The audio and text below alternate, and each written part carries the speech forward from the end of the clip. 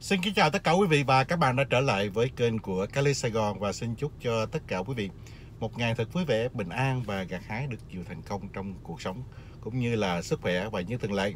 Nếu thông tin này có ok, hữu ích thì chỉ bấm like và nhớ đăng ký kênh cho Cali Sài Gòn và tiếng Florida. Cảm ơn tất cả quý vị thật nhiều. Vâng, kính thưa quý vị, Hoài Lâm là một hiện tượng lạ à, cách đây mấy năm về trước phải không quý vị ha? Với lại trong cái chương trình mà gương mặt thân quen đó là chiếm giải quán quân. Và phải nói thật sự là Hoài Lâm là một hiện tượng rất hiếm là trong những năm gần đây. Cũng giống như là cháu Hồ Văn Cường có một giọng ca cao vút và phải nói rằng là mang cái cảm xúc lại cho tất cả nhiều người khi nghe hai giọng hát này. À, hôm nay thì mình chia sẻ về thêm Hoài Lâm. Khi nghe Hoài Lâm trở lại sân khấu. Số diễn đầu tiên ghi dấu ấn ở tại Đà Lạt thì ai nấy cũng đều hân hoan. Đa số mình theo nói theo là những người mà thích chân nghệ và yêu tiếng hát của cậu trai trẻ này. Lúc trước thì và cách đây hơn 4 năm thì người ta phán rằng Hoài Lâm là một vi ờ, một bi kịch của showbiz. Um, khi uh, sau khi chia tay với người uh, vợ đầu tiên có hai đứa con gái thì uh, phải nói là sự nghiệp ca hát của Hoài Lâm đứng chững lại nếu không muốn nói là tụt phăng xuống dốc.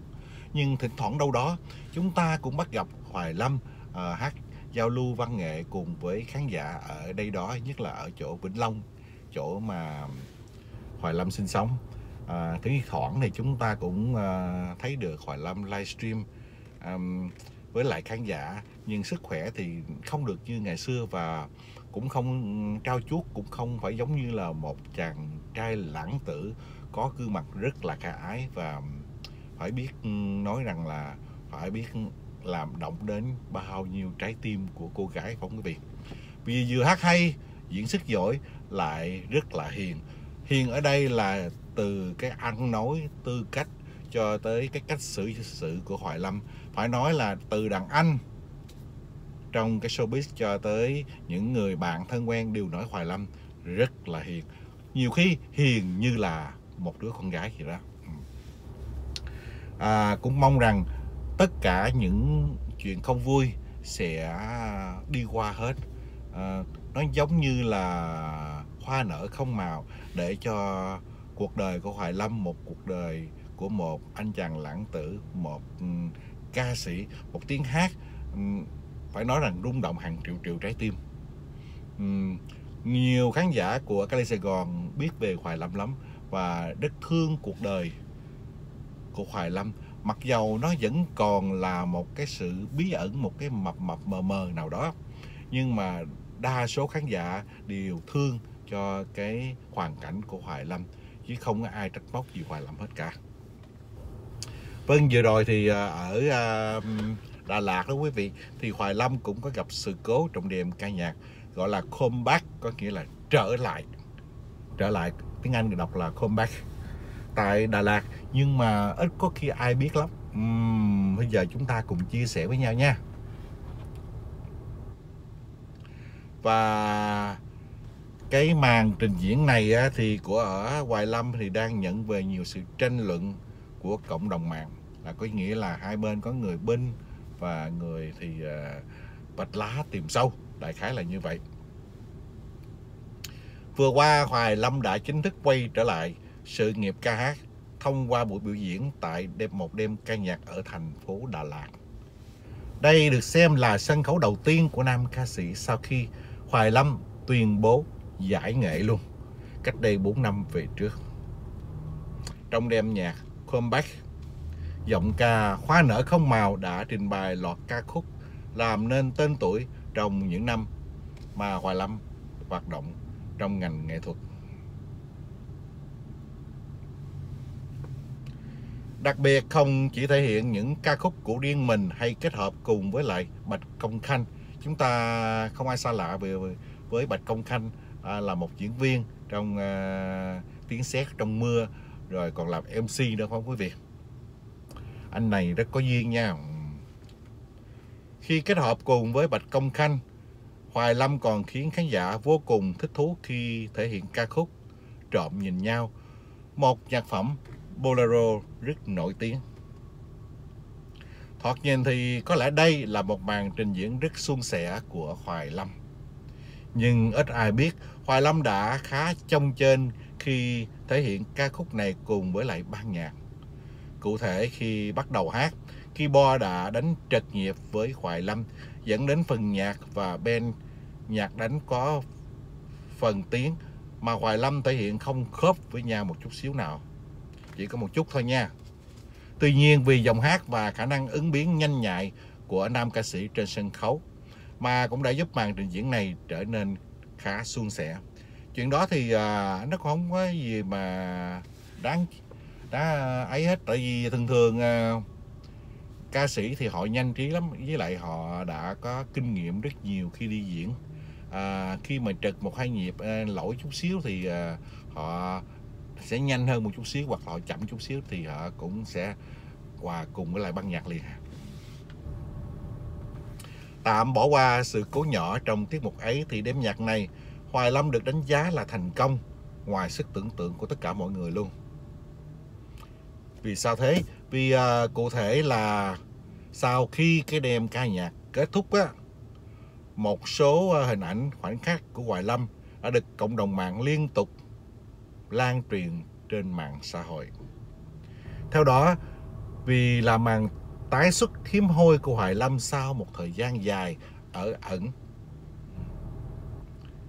nên FC của nam ca sĩ cùng khán giả đã chuẩn bị rất nhiều hoa nè, số lượng người đến mức phủ đầy cả sân khấu đêm biểu diễn luôn.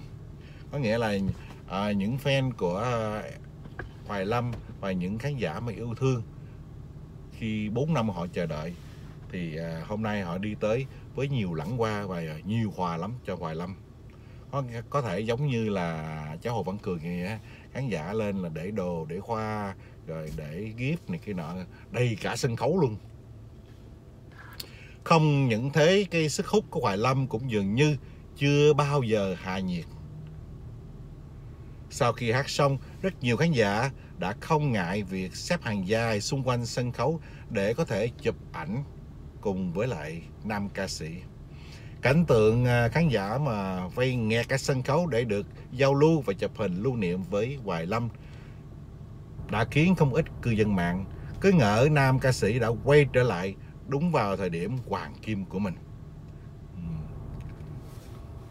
Giống như là người ta vây quanh à, Hoài Lâm mà cư dân mạng người ta nhìn tưởng là à, cái này không phải là sau khi trở lại 4 năm à, show diễn dấu ấn lần đầu tiên ở Đà Lạt mà họ cứ nghĩ rằng đây à, là 4 năm năm năm sáu năm về trước mà lúc mà Hoài Lâm đi hát vừa ca xong ra thì khán giả lên tặng hoa rần rần rần rần như vậy đó quý vị người ta ngỡ tưởng là như vậy nhưng không ngờ đây không phải là năm sáu năm về trước mà đây là uh, sau 4 năm ở ẩn mà khán giả không quên Hoài Lâm và người ta vẫn ngưỡng mộ vì cách sống nào và nhất là giọng hát của nam ca sĩ Hoài Lâm.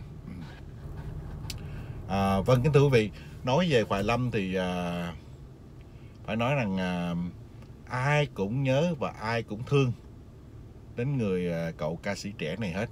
Mặc dầu à, cuộc đời à, có thể xảy ra nhiều chuyện không vui, nhưng à, hãy như là bài hát trộm nhìn nhau. Trộm thầm nhớ ngày nào mà khán giả còn thương Hoài Lâm. Và Hoài Lâm lúc đó à, cũng còn à, thật ra cái cái lúc cái thổi ban đầu mà chúng ta xem Hoài Lâm hát quý vị thấy à, anh này anh chàng này cũng hiền cũng rụt rè giống như là các bạn nói hiền như là con gái vậy á. Ừ. mặc dầu à, à, sau đó thì những năm đi hát rồi tiếp xúc với nhiều đàn anh đàn chị ban nhạc và khán giả nhưng mà Hoài Lâm cũng không bao giờ mà tỏ vẻ như mình là một ngôi sao mà lúc nào cũng hòa mình chung với lại khán giả lúc nào cũng vui vẻ lúc nào cũng nhún nhường và khiêm nhường. Ngay cả đàm vĩnh hưng cũng nói như vậy. Nói à, phải chi à, cái lúc mà hoài lâm mà mà chưa trở lại sân khấu đó quý vị thì à, có một lần à, đàm vĩnh hưng cũng có nói nếu mà ngày xưa đó mà đàm vĩnh hưng không bỏ cái tôi xuống một chút xíu mà giống như là nó à, ờ, tôi cần em. Tôi cần em trong cái chương trình của tôi tôi rất cần em cho cái live show của tôi hay là ban nhạc của tôi. Đàm Vĩnh Hưng đã từng thố lộ như vậy phải bỏ cái tôi xuống lúc đó. Thì có lẽ cuộc đời của Hoài Lâm và sự nghiệp của Hoài Lâm sẽ không bị đứt đoạn như thế này. Uhm. Hoài, ngay cả Đàm Vĩnh Hưng còn à, khen là Hoài Lâm cư xử rất là đại khái chúng ta nói rằng là đối nhân xử thế đó rất là được lòng người. Và phải nói rằng anh em ở trong uh, showbiz đều thương Hoài Lâm vì tính cách rất là hiền lành của cậu ta. Mong rằng uh, đây là lần trở lại ngoạn mục và đánh dấu cho sự nghiệp sân khấu của Hoài Lâm. Và Hoài Lâm cũng đã từng hứa với khán giả trong cái đêm show diễn đó là sẽ trở lại làm nghề trong một cái uh, cái việc làm rất là nghiêm túc. Chứ không phải mà ờ, nói qua rồi ờ, nói rồi cho thôi mà thôi. Nói qua chấm chuyện mà nói suông mà thôi á. Ừ. vâng thì uh, mong rằng nam ca sĩ Hoài Lâm sẽ trở lại sân khấu nghiêm túc và đem lại những sản phẩm hay và um, đem lại tiếng hát của mình để phục vụ cho tất cả khán giả trong và ngoài nước và những người đã thương yêu Hoài Lâm từ bao lâu nay. Vâng, xin à, chào tất cả quý vị và xin hẹn tất cả quý vị trong một video clip lần sau.